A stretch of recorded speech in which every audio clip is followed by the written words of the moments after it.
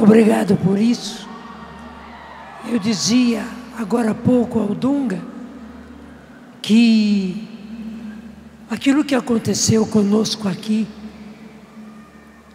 aquela rosa de Jericó, mostrando a semente que Deus fez desabrochar, é um sinal maravilhoso do que você, Dunga, fez aliás, que Deus fez através de você nesses 15 anos de geração PHM. Que Deus abençoe você. Que Deus abençoe a geração PHM. Que Deus abençoe todos esses homens e mulheres do bem. E que realmente esse bem seja multiplicado. E esses homens e mulheres do bem sejam aumentados cada vez mais, multiplicados, para que assim o mundo se encha do bem que é Deus. Deus abençoe você e que essa palestra que termina essa manhã seja justamente o momento da unção do Espírito para cada um daqueles que estão aqui e daqueles que nos ouvem e nos veem de casa. Deus abençoe você, Dunga. Deus abençoe você. Deus nos abençoe.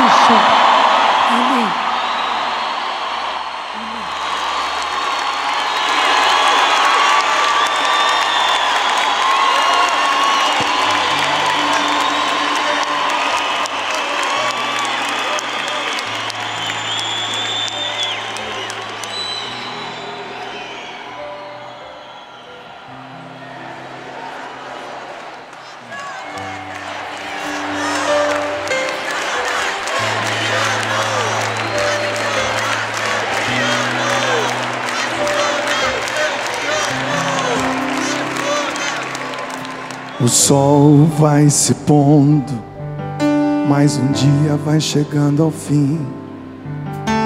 A chama da esperança ainda queima no coração. A estrada é muito longa, mas o dia não acabou. Eu sei, meus olhos não enxergam a vitória mas existe um Deus de amor que me ensina a não perder a fé. Pois mesmo se a fé é pequena, milagres acontecerão.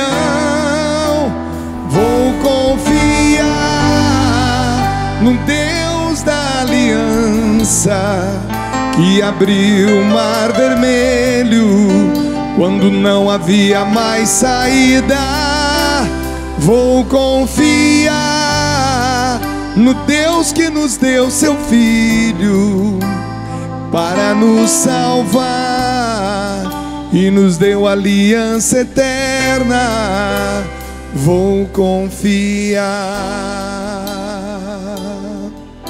Segura na mão da pessoa que está do seu lado, sentadinho, para que ninguém que esteja atrás de você seja atrapalhado por você estar em pé na frente dele.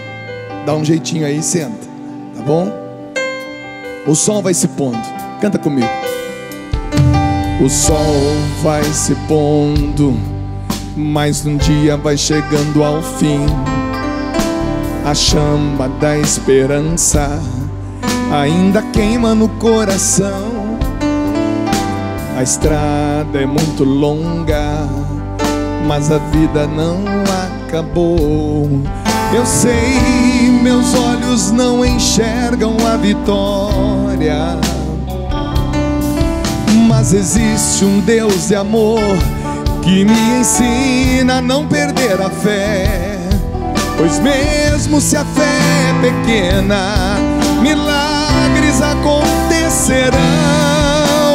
Vou confiar no Deus da aliança que abriu o mar vermelho quando não havia mais saída. Vou confiar no Deus que nos deu seu filho para nos salvar e nos deu aliança eterna. Vou confiar no Deus da aliança. Quando não havia mais saída, quando não havia mais saída, vou confiar no Deus que nos deu seu filho para nos salvar e nos deu aliança eterna. Vou confiar. Eu gostaria de um extremo silêncio no nosso meio. Eu disse que eu gostaria de um extremo silêncio no nosso meio. E você que está caminhando, claro que você ainda não encontrou o seu lugar. Então que você encontre o seu lugar mais rápido. Essa é a última pregação do encontro. Teremos ainda, é claro, a homilia da missa, do encontro tão significativo que eu considero um marco na evangelização da juventude e das famílias no Brasil. Esse gente do bem é mais do que simplesmente o tema de um encontro, PHN. Ele é uma nova inspiração que Deus está nos dando. O que vamos fazer com essa inspiração, eu também não sei. Deus há de abrir as portas e dar-nos a visão mais ampliada daquilo que Ele está colocando no nosso coração. E eu venho sentindo essa inspiração já há um bom tempo. E todas as vezes que os meus olhos caíam sobre aquela passagem bíblica, Filipenses 4, versículos de 4 a 7, eu sentia um, uma brasa no meu coração. Essa mesma brasa que o Monsenhor Jonas Abib se recorda quando meu pai faleceu e eu não pude chegar a tempo para o enterro dele, porque estava em missão. Cheguei em Pindamonhangaba à meia-noite e ele tinha sido enterrado às seis da tarde. Por força da missão, às vezes a gente não consegue estar em determinados momentos da nossa vida. E no dia seguinte, o Monsenhor Jonas Abib, com toda a sua paternidade e sensibilidade, ele foi lá na minha casa conversar comigo, com a minha mãe. E lá no fundo do quintal, do quintal de casa tem um fogão de lenha, onde meu pai tinha preparado a sua última, seu último almoço.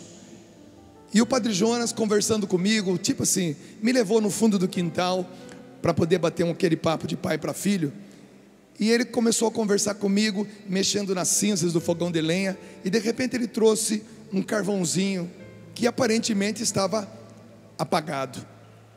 E quando ele trouxe para fora da boca do fogão de lenha, ele assoprou. E aquela brasa acendeu. E ele disse para mim: Meu filho, preste muita atenção que essa brasa nunca deixe de arder no seu coração. E todas as vezes que você subir ao palco, lembre-se desse momento. E desde então, Monsenhor, todas as vezes que eu subo aquela rampinha ali de trás, ou qualquer escada, mesmo que sejam dois degraus apenas, eu me recordo do dia que o Senhor puxou aquela brasa assoprou e me disse: Não deixe que essa brasa apague no seu coração. E o Senhor ainda pediu uma graça, e que todas as vezes que você for ao palco, pregar, cantar, rezar, que essa mesma brasa possa arder no coração das pessoas que te escutam. E todas as vezes que eu lançava os olhos sobre essa passagem, que é muito conhecida nossa, muito conhecida nossa, que diz assim: Alegrai-vos sempre no Senhor. Repito, alegrai-vos. Seja a vossa bondade conhecida de todos os homens. O Senhor está próximo.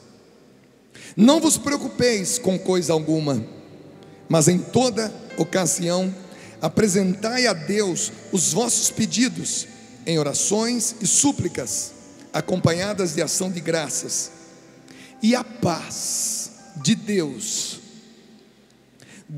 que supera todo o entendimento, guardará os vossos corações e os vossos pensamentos no Cristo Jesus.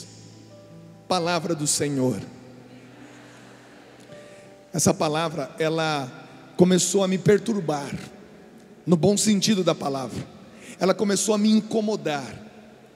E ela começou a me incomodar por causa de uma frase que está escrito ali, que diz assim: que a vossa bondade seja conhecida por todos os homens. Mas, Senhor, em outro momento o Senhor disse que o que uma mão, a mão direita faz, que a esquerda não fique sabendo. E o Senhor me disse: não é isso que eu estou dizendo. Eu estou dizendo que a sua capacidade de ser bom, na sua expertise, na sua especificidade, na sua vocação, no seu dom, na sua profissão, que a sua capacidade de ser bom seja conhecida por todas as pessoas que te rodeiam. E o Senhor começou a me perturbar, e me incomodar, e me impulsionar, a tal ponto que de repente, entre nós, os amigos mais próximos, da comunidade e também os amigos que Deus nos dá ao longo da caminhada, nós fomos nos tratando de maneira muito natural, muito natural, e nos, nos tratando como gente do bem, gente do bem, gente do bem, foi natural, natural. E de repente, nesses momentos de confraternização, momentos muito fraternos, começou também a surgir no nosso meio a frase: é, Deus faz, Deus junta. E eu comecei a perceber que aquilo foi tomando corpo, corpo, corpo, e eu comecei a perceber que as pessoas que vão se juntando a nós, só se juntam a nós, só se juntam a nós e só permanecem do nosso lado, porque Deus é que traz cada uma delas. Então, para fazer essa pregação, eu não quero fazer uma exortação, eu não quero usar da oratória da palavra, eu quero invocar nesse momento a intercessão do nosso querido Padre Rufus Pereira, que durante muitos anos pregou para nós aqui, e ele pregava de uma forma tão simples, mas tão simples, que a gente até pensa, mas como que o grande exorcista do mundo tem uma pregação tão simples? Ele ia falando apenas os testemunhos, ele ia contando os testemunhos, e claro, dentro do ministério dele, as libertações iam acontecendo meu ministério não é libertação. Eu nem, nem, eu nem estou nesse grupo que rezam por libertação. Não é o meu, o meu, meu chamado, o meu serviço na igreja. Mas como que, tomando por exemplo, eu gostaria de rechear essa pregação com testemunhos. E eu vou falando testemunhos e depois eu vou chamando a pessoa que está aqui para ficar aqui do meu lado. Lá na cidade de Presidente Prudente, um dia, uma menina de 18 anos, veja bem, 18 anos, chamada Mariana Braga, ela estava correndo o dedinho na lista, na lista de nomes da faculdade, no seu primeiro dia de faculdade, quando infelizmente uma bala perdida entre uma gangue de traficantes e uma outra gangue de traficantes, naquele meio ela estava e aquela bala, aquele tiro que tinha endereço de uma gangue para outra gangue, encontrou a cabeça da Mariana Braga. E aquela menina de 18 anos, no seu primeiro dia de faculdade, faleceu quando via a lista de nomes. E ali ela caiu e ali ela morreu. Foi uma comoção geral naquela cidade. Algumas pessoas se revoltaram, mas aí, o pai, a mãe, Mário e Márcia, junto com um grande amigo meu há muitos anos, mais de 10 anos, Astromar Miranda, que já pegou para vocês, se reuniram para rezar. E a mãe, e a mãe do Astromar Miranda, uma mulher muito simples, no meio daquela oração disse: O diabo nos mastigou, mas ele não vai nos engolir, nós vamos sair dessa. Nós vamos sair dessa. Nasceu naquela cidade um movimento maravilhoso, movimento Mariana Braga pela Paz. Eles foram às ruas, como nós estamos vendo o nosso país indo às ruas, só que eles foram de branco, com cartaz pedindo paz para aquela cidade. Aquela atitude daquela família, daquele pai, daquela mãe, daquele tio, daquela avó, foi tão contagiante que a cidade se movimentou. E hoje, uma vez por ano, em dezembro, eu vou a essa cidade, já há mais de 10 anos, encerrar as atividades de um grupo que testemunhou esse fato. Um dia, o Astromar Miranda e o pai da Mariana Braga, que tinham e têm por costume visitar presídios, para evangelizar nos presídios e visitando presídios, e na região de Presidente Prudente são os presídios de segurança máxima.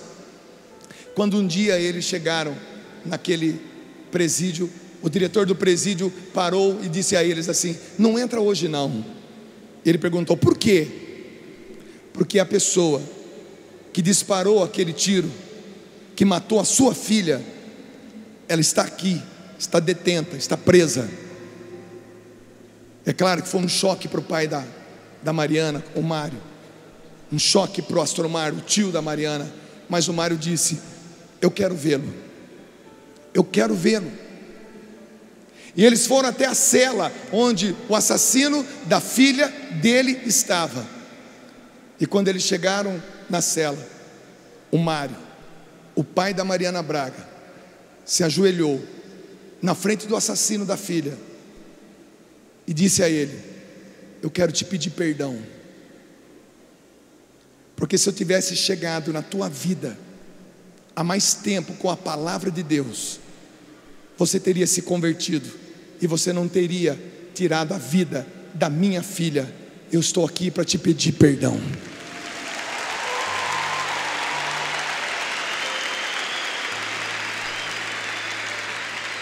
Quando nós falamos de gente do bem, nós estamos falando de gente do bem nesse nível. Cadê o Astromar? Vem cá, meu irmão. Fica aqui do meu lado.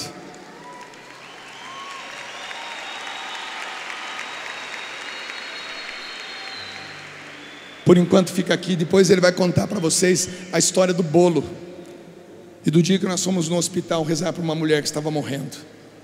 Mas esse é o cara que teve a vida da sua sobrinha ceifada por uma bala perdida, e que testemunhou, viu o seu, o seu cunhado, o Mário, superando toda uma dor de um pai que perde uma filha com a bala na cabeça. Mas fica aqui. Mas tem uma outra história que eu quero contar para vocês. Um bom tempo atrás, quando ainda não havia aqui o rincão do meu Senhor, aliás, o centro de evangelização, tínhamos apenas o rincão do meu Senhor, a chácara nem pavimentada era, era barro. Um casal experimentou a falência, experimentou a falência, foram na lona, na lona, não tinham mais nada, e eles decidiram visitar a Canção Nova em todos os acampamentos dessa Canção Nova. Eles não tinham dinheiro para vir para colocar gasolina no carro. Mas mesmo assim eles se viravam e vinham. E chegando aqui, esse casal não tinha dinheiro para comprar dois marmitex. Dois. Eles só podiam comprar um marmitex. E eles não diziam isso para ninguém. Eles compravam um marmitex, ela comia metade, ele comia metade. Um dos nossos atendentes da cozinha percebia que eles não estavam constrangidos de comprar mais uma porque não tinha dinheiro, então ela colocava uma porçãozinha a mais de arroz, uma porçãozinha a mais de feijão e um pedacinho a mais de frango ou de carne. Esse casal frequentou frequentou, esse casal se perdoou, esse casal orientou os filhos, esse casal trabalhou, trabalhou, trabalhou, trabalhou, trabalhou. Esse casal superou, esse casal se deram muito bem na profissão deles. Esse casal se tornou um benfeitor, um casal benfeitor para a canção nova. Esse casal superou a vida. E esse casal que chegou um dia aqui e tiveram que rachar um marmitex, porque não tinham dinheiro para comprar dois. Hoje, graças a Deus, estão bem, a família está bem, a família reza, a família é de Deus. E esse casal está aqui, é o Luciano e a Márcia. Vem para cá, Luciano, vem para cá, Márcia.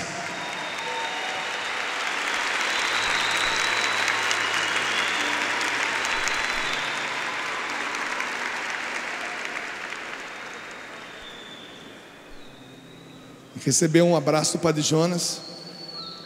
Aí dá para repartir, né? Quando a gente fala de gente do bem, eu estou falando de você. Estou falando de você. Estou falando dessas pessoas que experimentam a graça de Deus, experimentam a misericórdia de Deus. Fica aqui, Márcia, fica aqui. Eles experimentam a graça de Deus. Um tempo atrás, aqui em São José dos Campos, um jovem, em todos os acampamentos, eles traziam, ele trazia um ônibus para vir fazer o acampamento PHN. E ele agitava lá, ele agitava, ele agitava e trazia, juntava as pessoas para trazer aqui para o PHN. E o ano passado ele esteve aqui, e quando nós colocamos o objetivo desse encontro, ele já disse para a mãe dele, ele já disse para os amigos: o ano que vem nós vamos estar lá, o ano que vem nós estaremos lá. Só que não deu tempo, esse jovem morreu. Mas a mãe dele, sabendo que o filho queria muito vir ao acampamento PHN, ao invés dela ficar em casa chorando, porque o filho dela não poderia estar nesse acampamento, sabe o que ela fez? Ela trouxe três ônibus para o PHN. E ela está aqui. Vem para cá. É a mãe do Lucas, a dona Regina. O ano passado ela esteve aqui com o filho. Hoje o filho está lá no céu, vendo a mãe.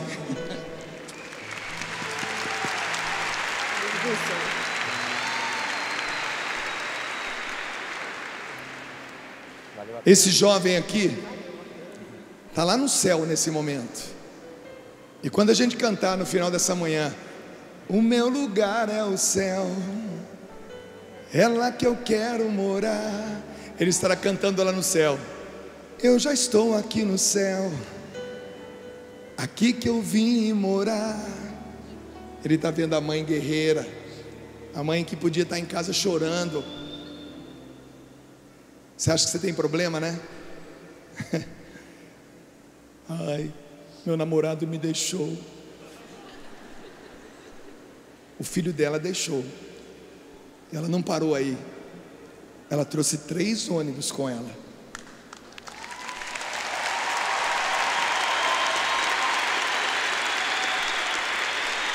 Gente do bem. Tem um amigo meu que mora lá em Mamborê, no Paraná.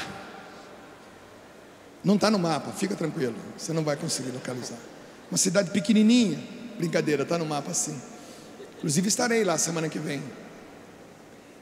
Ele cuidou do irmão que estava com câncer. E o irmão dele, ele gostava muito da canção nova.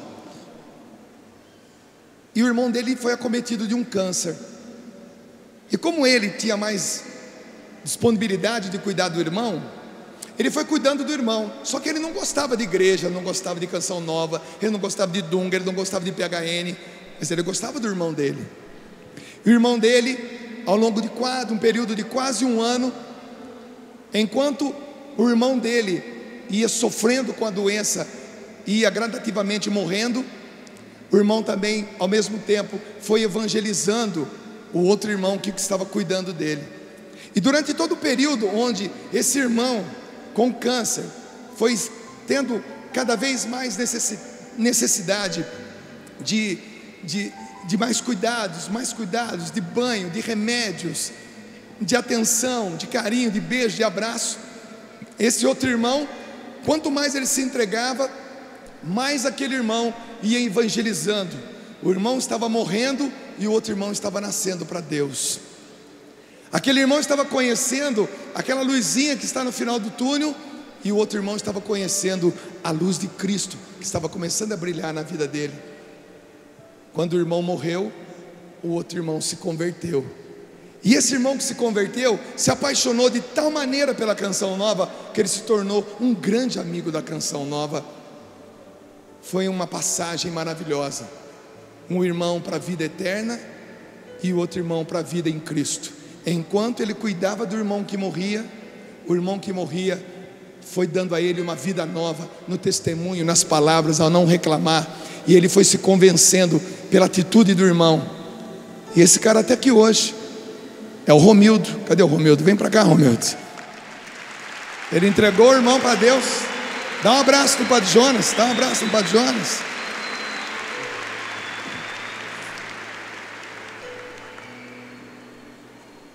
O irmão morria e ele nascia. Não é lindo isso? Enquanto o irmão morre, o outro nasce. Que amor é esse que dá a vida pelo próximo, né? Fica aqui. Um dia eu estava fazendo um programa de televisão na Canção Nova, PHN. Estava ali com a câmera 1, câmera 2, câmera 3, câmera 4, entrevistando um. Nem lembro mais quem eu estava entrevistando. Mas de repente, Deus colocou uma coisa no meu coração.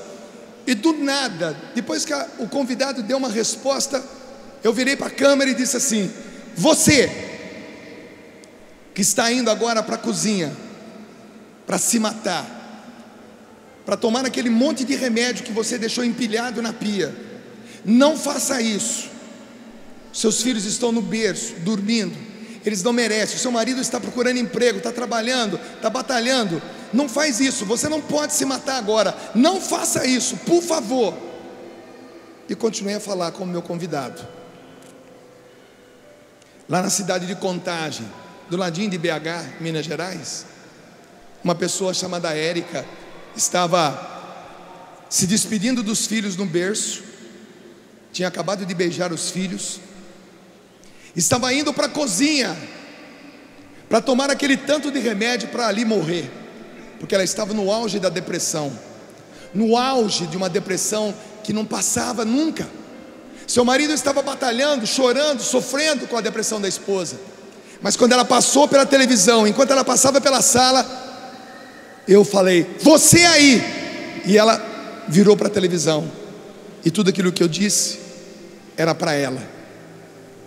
Ela, da frente da televisão, começou a chorar. Foi lá na cozinha, pegou os remédios, jogou no lixo, voltou para a televisão, terminou de ver o programa. O fato é que essa menina essa mãe, ela está viva. E ela e seu esposo estão aqui para testemunhar para nós. Vem cá, Gelson.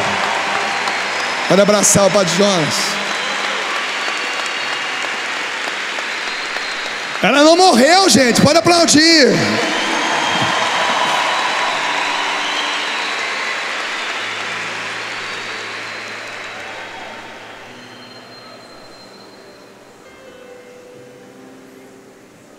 Dá um abraço aqui. Daqui a pouco ele vai cantar uma música para ela. Fica desse ladinho aqui.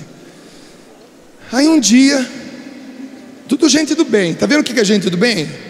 Você imagina o que essas pessoas hoje faz, fazem por a outra pessoa? Foram todas resgatadas por Deus, todas, todas resgatadas por Deus. E hoje elas, do jeito delas, elas promovem o bem um dia um jovem muito louco, mas muito louco. Pense num jovem muito louco. Torcedor do Flamengo. É. Carioca. Um dia, um dia esse jovem estava drogado, já tinha fumado maconha, cheirado cocaína, já tinha bebido muito. Ele estava no meio de um baile funk estava no meio de um baile funk. Ele estava lá naquela batidona, rodeado de pecado, rodeado de droga, estava muito drogado. E enquanto ele estava lá, lá, Deus falou com ele. E Deus falou para ele: Eu te quero, padre. Ele, estou ficando muito louco, estou ficando muito louco. Estou escutando coisa. Deixa eu fumar mais um. E fumou mais um.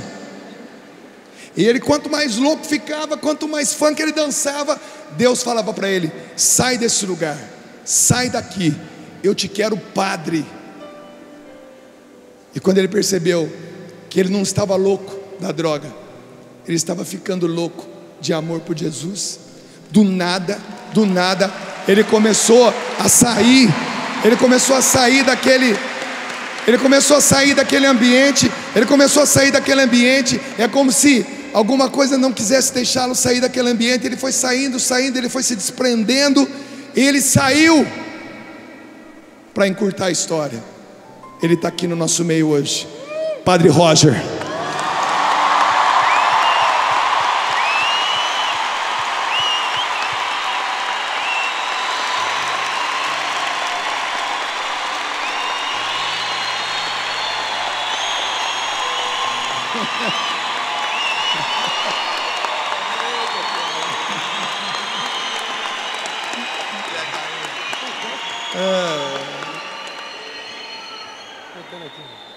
Tudo gente do bem. Deus faz, Deus junto. Deus faz.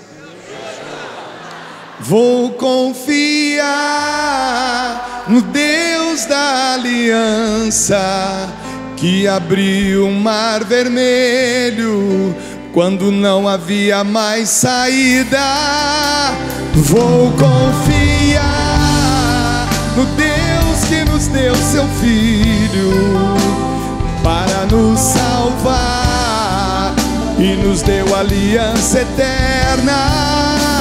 Vou confiar no Deus da aliança que abriu o mar vermelho quando não havia mais saída. Vou confiar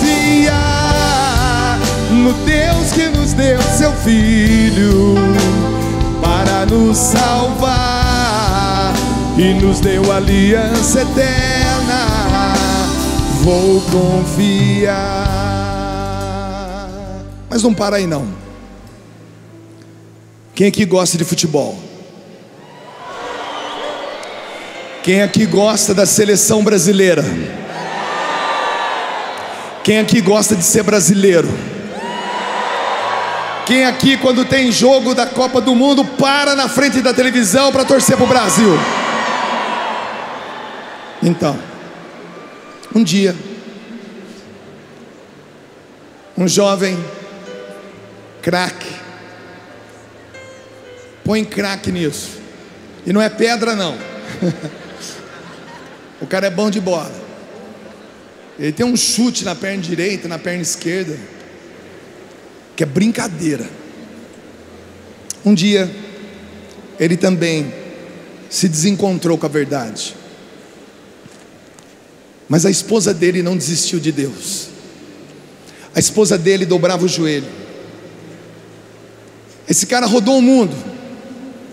Jogou no Brasil, jogou na Turquia, jogou na Inglaterra, jogou na Ucrânia na seleção brasileira, no Santos. 64 convocações para a seleção. Teve 64 convocações para a seleção brasileira. Um dia ele também perdeu o foco.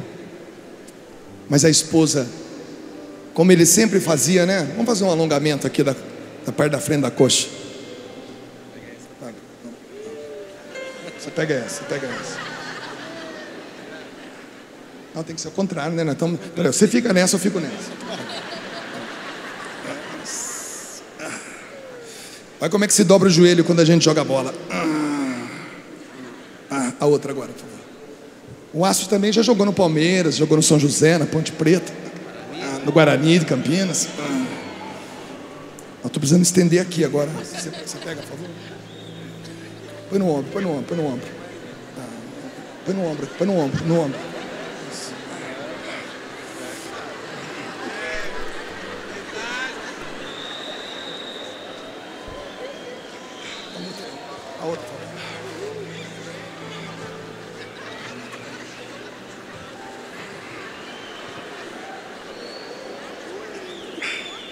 Muito obrigado, muito obrigado. Então, jogador, jogador dobra o joelho assim, estende os músculos assim. Mas enquanto ele estava fazendo isso nos campos, a esposa dele dobrava o joelho de outro jeito. Ela dobrava assim, rezando para o marido. Ela se estendia assim, clamando que um dia esse homem de Deus voltasse. Hoje ele é o nosso craque. Ele é o titular. A camisa dele é 7. Vem para cá. Elano Blumer, jogador do Grêmio. Assusta. Vem Xanda, vem também Xanda.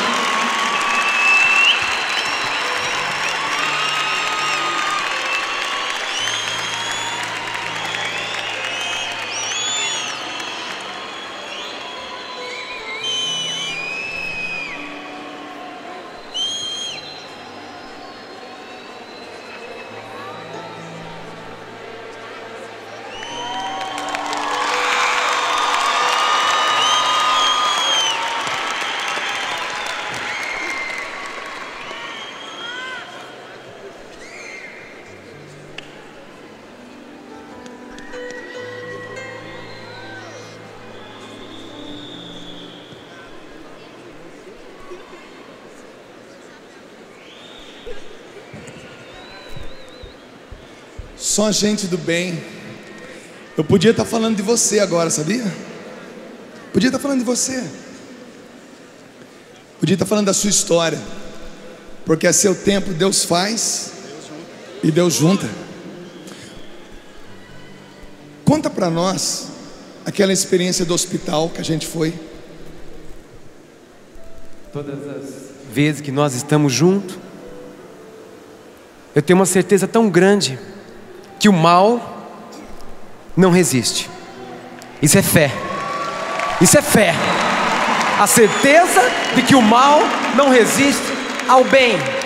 Quando gente do bem maior se reúne. E o Dunga passando uns dias em minha casa, e todos os dias nós queremos fazer o bem. Todos os dias nós queremos um bem.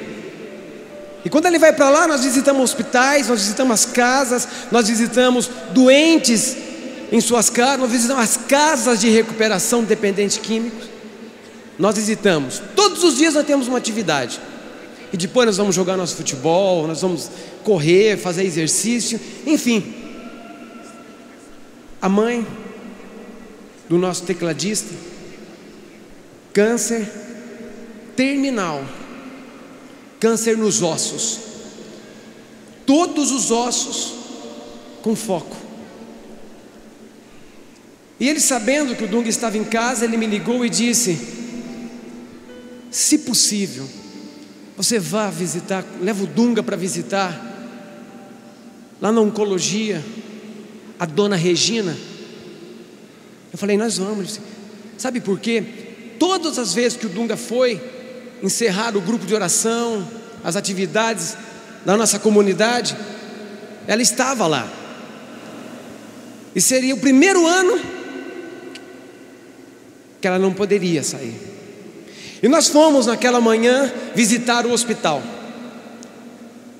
Quando chegamos, a dona Regina estava, não aguentava mais a cama, ela estava numa poltrona só mexia, só movia os olhos, porque os ossos, em cada mover dos ossos, era uma dor insuportável. E ali, nós chegamos, nos apresentamos, rezamos para a dona Regina. Eu lembro da visualização que o Dunga teve de Nossa Senhora tirando água de um poço e jogando no outro. E fizemos a oração com a família. E ela disse assim: eles pensam que eu não sei, mas o médico me disse que eu não vou chegar a ver o Natal, eu não vou chegar a ver a, meu, a minha neta nascer e minha filha se formar. E a dona Regina chorava muito no final da oração, despedimos. Hora que nós estávamos na porta saindo, na porta do hospital, do, do quarto saindo, eu falei, Dunga, vamos voltar, vamos cantar música tema da noite de hoje. Realiza o um milagre em mim. Eu falei, dona Regina, a senhora não vai, a senhora não vai no grupo, mas o Dunga vai cantar no ouvido da senhora, realiza um milagre em mim. E a senhora vai pedindo qual o milagre que a senhora quer. A dona Regina chorou, chorou, e o Dunga realiza o um milagre em mim, realiza o milagre em mim, Senhor. Eu necessito da tua intervenção na minha vida. E quando eu ia saindo do quarto, eu disse para ela: A senhora vai passar o Natal em casa. O próximo grupo de oração que o Dunga vier ensinar, a senhora vai estar lá. A senhora vai ver o neto nascer, viu a neta nascer. Dona Regina, a formatura da tua filha, a senhora vai entrar de mãos dadas com ela. E fomos embora. Passado dois anos, agora, dia 6, dia 8 de dezembro, o último grupo de oração, eu e o Dunga começando o grupo, ela entrou pelo corredor, mas entrou assim, ó. Não terminou. A dona Regina, que estava careca quando fomos visitá-la, entrou com um penteado, a coisa mais linda, uma escovinha maravilhosa, uma progressiva perfeita. Subiu pulou o palco, subiu, abraçou o Dunga, chorou muito e disse: Eu acreditei, estou curada. E disse assim: Ela disse assim: Os médicos não entendem, o câncer está em todos os meus ossos. Eu não tenho mais dor, o câncer está aqui. Venceu, sabe por quê? Quando o bem se junta, o mal não resiste. Juntem-se. Finalizando. Essa frase, Deus faz, Deus junta, nasceu na nossa amizade. Nasceu aquele final de ano aqui na Canção Nova. E eu tenho para mim aqui no meu coração que há 15 anos, como disse o padre Fabrício, há 15 anos, padre, esse gigante está despertando, lá na inspiração do PHN, padre, há 15 anos, esse gigante acordou para ser gente do bem, nessa manhã de efusão do Espírito Santo aqui nesse lugar. E hoje, Dunga, nós podemos não mudar a frase, mas melhorar a frase. Quando o Padre Jonas, quando o Monsenhor vê essa multidão, Deus faz, e no sonho de um homem de Deus, Deus usou o Padre Jonas para nos juntar. Deus faz, Monsenhor junta. Obrigado, Monsenhor. Obrigado. Via no Deus da aliança que abriu o mar vermelho quando não havia mais saída. Vou confiar no Deus que nos deu seu filho para nos salvar e nos deu aliança eterna. Vou confiar. E aí, aquele marido que estava com a mulher em depressão, a família totalmente insegura, ela já tinha decidido tirar a própria vida. Não é que o marido tenha a esposa de volta? E não é que esse marido, por causa disso, começou a cantar na igreja e começou a evangelizar, e hoje os dois evangelizam, sabe onde? Dentro da cadeia. A especialidade deles é cantar para preso, para detentos.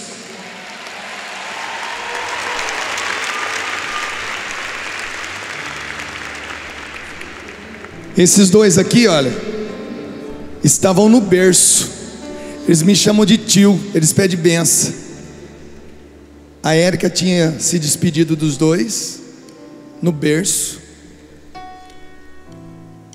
Mas a TV Canção Nova, a qual você ajuda tanto, a qual você contribui tanto, quando a gente pede a sua ajuda para o projeto Daime Almas, é para isso aqui, porque ela passou pela TV, podia ser uma outra pessoa, mas fui eu naquele dia, falei, ela não se matou, ela foi devolvida para a família e hoje é uma família que evangeliza. Uma vez confirmado, confirme os seus irmãos. Eu gostaria que o Niel de Elson, que encontrou forças em tudo isso, cantasse um trecho de uma música do CD que ele lançou, que é um CD maravilhoso, no qual também eu tive a participação. Mas eu gostaria que ele cantasse, porque hoje é um marido. Cadê o CD? Está aqui? Hoje é um esposo. Está até autografado para o Padre Jonas isso aqui. Hoje ele é um esposo que teve a esposa devolvida e tem a capacidade de cantar. Canta para esse povo. Fica de pé, pai. Como Deus fez comigo, com a minha família, Ele também te sustenta, Ele te levanta, te faz ser melhor. Canta assim, ó. Quero viver a minha humanidade em plenitude com Deus. Vamos cantar? Vamos lá nas palmas. Nas palmas, assim, ó. Quero viver a minha humanidade. Yeah, yeah, yeah, em plenitude com Deus. Buscar o que é santo, buscar o que é santo e o que é a verdade. Eu sei, não é negar o que Ele me deu. Não preciso negar minha tristeza. Eu preciso mostrar minha alegria. Não preciso negar o meu choro, mas eu posso mostrar o meu sorriso. Jesus Cristo também chorou, mas uma coisa eu sei, Ele nunca me abandonou. É Deus quem me sustenta, é Deus quem me sustenta. É Deus quem me levanta. É Deus quem me faz ser melhor assim. Canta comigo, diz isso. É Deus quem me sustenta. Vamos lá, povo de Deus. É Deus quem me sustenta. É Deus quem me levanta. Deus quem me faz ser melhor assim. Eu queria entregar esse CD para cada um de vocês, mas em gratidão eu quero entregar para Monsenhor Jonas. É fruto desse homem de Deus, desse profeta, que acolhe a cada um de vocês. Mais forte é Monsenhor Jonas. Ele quer que nós vivamos essa santidade, mas em plenitude com Deus. Diz isso comigo assim: é Deus que me sustenta, é Deus quem me sustenta, é Deus quem me levanta, é Deus quem me faz ser melhor assim. É Deus, é Deus quem me sustenta. Diz isso, é Deus quem me levanta, casa, minha família. É Deus quem me faz ser melhor assim. Bom,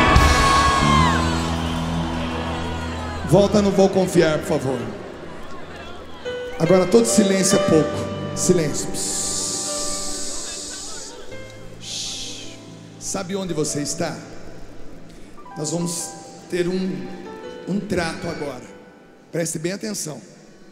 Você não vai caminhar nem para frente e nem para trás. Posso confiar em vocês? Posso confiar no pessoal do corredor? Nós não vamos caminhar nem para o lado, nem para o lado esquerdo, nem para frente e nem para trás. Nós vamos fazer a nossa festa no lugar onde nós estamos. Tudo bem? Se você concorda, aplauda. Mas antes de fazer a nossa festa, que eu ainda tenho uns cinco minutinhos, eu gostaria de fazer um agradecimento do fundo do coração.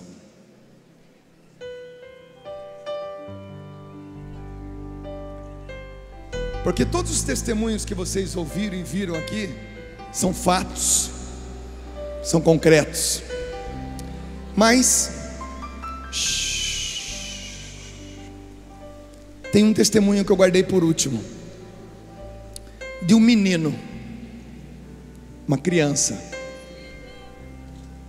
que quando tinha 12 anos foi para o seminário aqui pertinho da gente, uma cidade chamado, chamada Lavrinhas. Ele chegou lá no seminário com dois saquinhos de roupas usadas. Ali, ele era gago, mas ele queria cantar. Ele pediu para Deus: Senhor, se é para evangelizar, me tira a gagueira e me faz cantar. Ele começou a estudar música, ele começou a estudar piano, violão, fazer aula de canto. E ele foi crescendo, foi crescendo, se tornou padre. Detalhe: em 1964, ele se ordenou sacerdote. Em 1965, ali na cidade de Pindamonhangaba, a minha cidade. Ele, todo sábado, no período que ele esteve lá, ele ia celebrar missa numa fazenda chamada Coruputubá. E lá, no banco da frente, numa capela dedicada a Nossa Senhora, estavam duas mães com dois bebês no colo. Um bebê era a minha esposa, a Neia. Vem cá. Vem cá, Neguinha. Um bebê era Neia. No colo da dona Eurides. Né? Imagina ela bebezinha, coisinha fofa. Coisinha linda. E no outro, outro bebê estava no outro colo da dona Dita.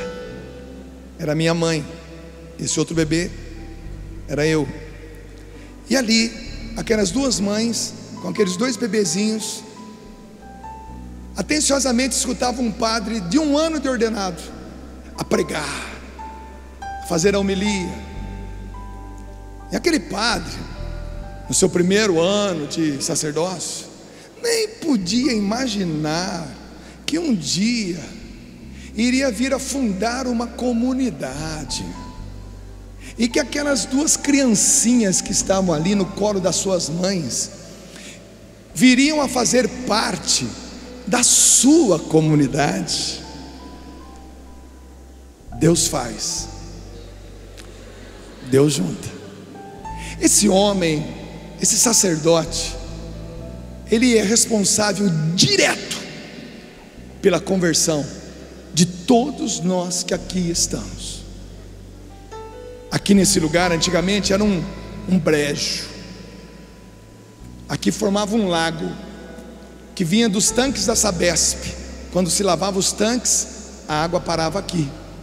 Ele, ele andava com a gente por aqui no meio das, das cascavéis, dos sapos, dos grilos.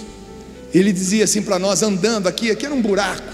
Ele dizia assim: Meus filhos, um dia construiremos nesse lugar um grande estádio. E aqui se reunirão milhares de pessoas. E a gente ia andando atrás dele dizendo assim: aham, aham. Esse homem, esse gente do bem, esse que Deus tem usado para juntar muitas pessoas, também está aqui. E ele se chama Monsenhor Jonas Abib.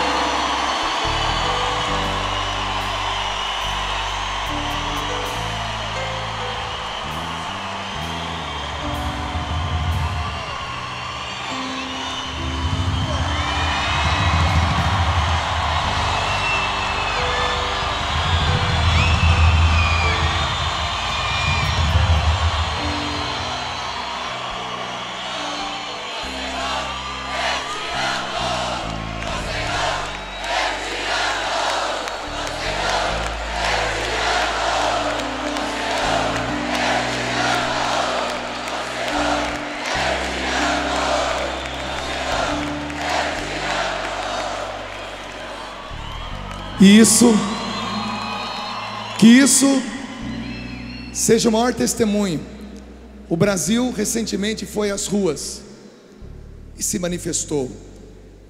E eu quero ler uma passagem que eu já preguei aqui para vocês, que vai dizer assim: Deixa eu só encontrar aqui.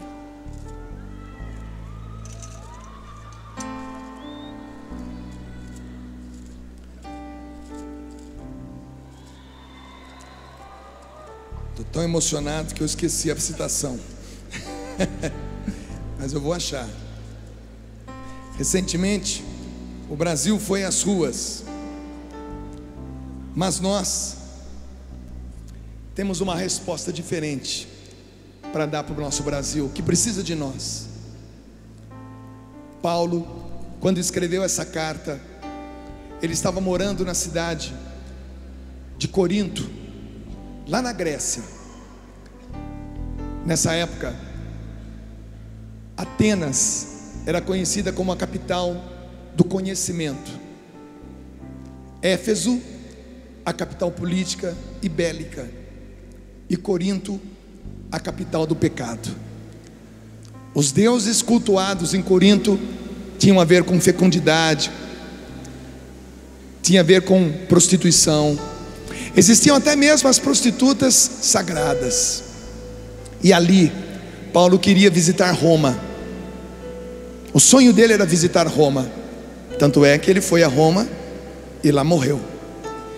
E lá de Corinto, ele escreveu isso aqui. Eu penso que os sofrimentos do tempo presente não têm proporção com a glória que há de ser revelada em nós. De fato, toda a criação espera ansiosamente a revelação dos filhos de Deus, pois a criação foi sujeitada ou sujeita ao que é vão e ilusório, não por seu querer, mas por dependência daquele que a sujeitou. Também a própria criação espera ser libertada da escravidão da corrupção, em vista da liberdade que é a glória dos filhos de Deus. A grande e real manifestação é essa. Durante esses todos esses anos de canção nova, durante todos os anos do PHN, nós fomos preparando uma geração. Aqui no nosso meio existem médicos, advogados, pais de família, homens públicos, esportistas, educadores, são vocês. O futuro do Brasil são vocês.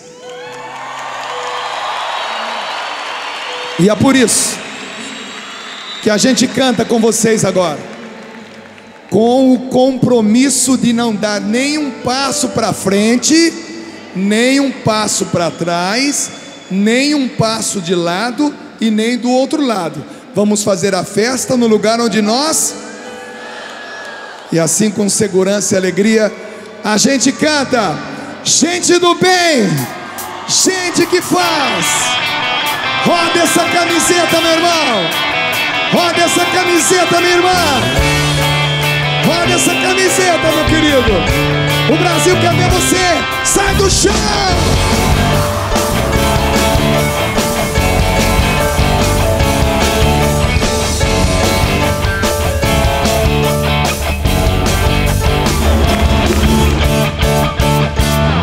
Gente do bem, gente que faz, gente que Deus preparou. Gente do bem, gente de paz, gente que gente do bem, gente que faz, gente que Deus preparou, gente do bem, gente de paz, gente que o mundo Deus se retirou, que tempo em sua vida ele entrou, pra onde ele te enviou, com quem seu caminho cruzou viemos de longe de perto, somamos os sonhos e planos. Encontramos o lugar da missão. E o que falta em mim,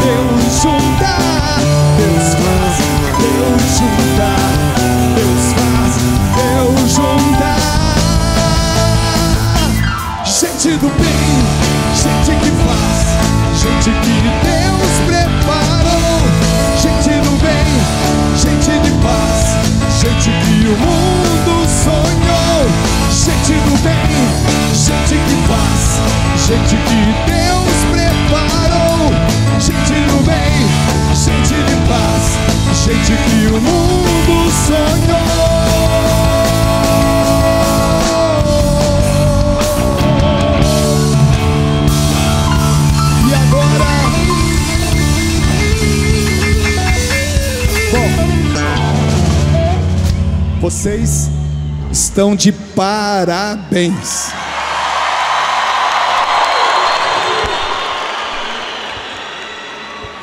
Desçam das cadeiras, desçam das cadeiras. E agora nós vamos jogar a nossa camiseta. Calma, calma. Eu não sei quem vai pegar a sua camiseta.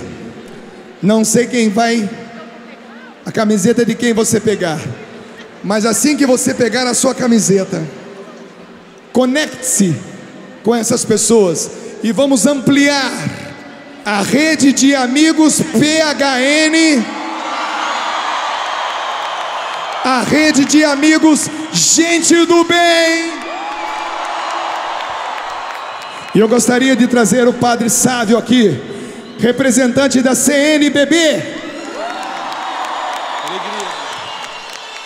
Vamos rodar a camiseta na Expo Católica no Rio Centro, na Cidade da Fé. Vamos rodar a camiseta na JMJ.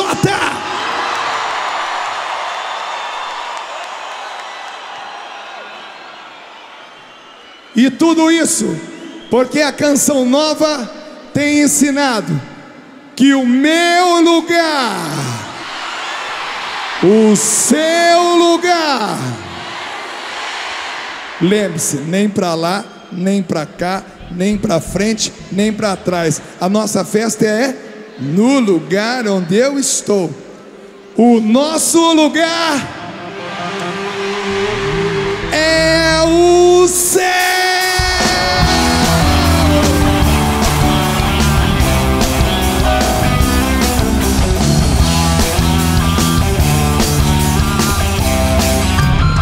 O meu lugar é o céu, é lá que eu quero morar. O meu lugar é o céu, é lá que eu quero morar. O meu lugar é o céu, é lá que eu quero morar. O meu lugar é o céu, não é pra jogar ainda não, é lá que eu quero morar.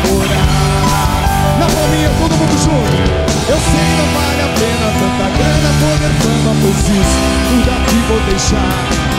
E sempre lá no céu só chega aquele que na terra seus bens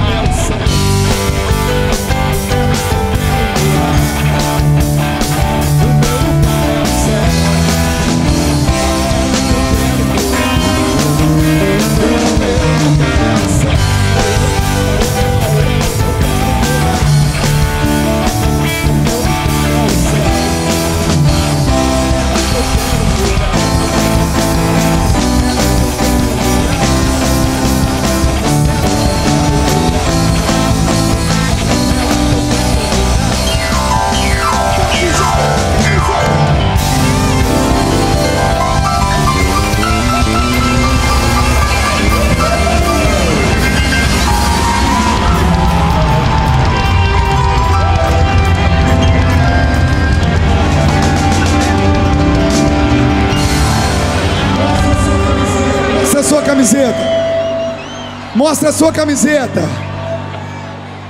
Vou confiar no Deus da aliança que abriu o mar vermelho quando não havia mais saída.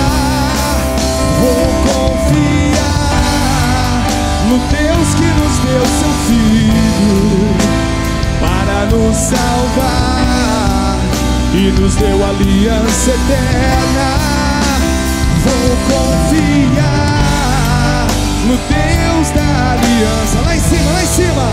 Que abriu quando não havia mais saída. Vou confiar no Deus que nos deu seu filho para nos salvar e nos deu aliança eterna. Vou confiar.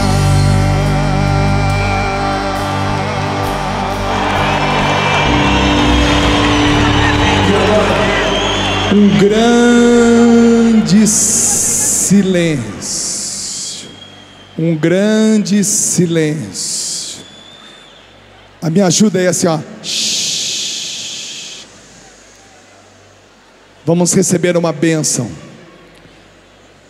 Vamos receber uma bênção especial. Todas as bênçãos são especiais. Mas essa rede de PHN, essa rede de gente do bem, precisa cada vez mais se expandir.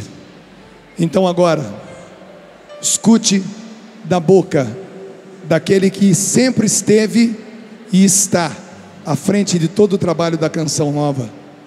Escute a palavra do nosso fundador para receber de Jesus Cristo, através das mãos do sacerdote, essa bênção. Senhor, nós agradecemos por essa grande realidade que há 15 anos vem se multiplicando.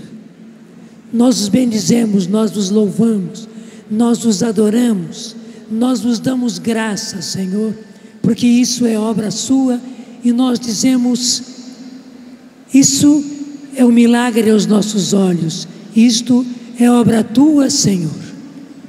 E eu peço agora que o Senhor abençoe a todos esses, que eles sejam multiplicadores de gente do bem, que eles sejam multiplicadores dessa geração PHN, e que esse bem, Senhor, se alastre por todo o Brasil e do Brasil para o mundo, para que a tua vontade se realize. Sim, nosso Senhor e nosso Deus, que os teus desígnios se realizem perfeitamente na vida de cada um daqueles que agora recebem esta tua bênção. Bênção de um Deus todo-poderoso que é Pai e Filho e Espírito Santo. Amém.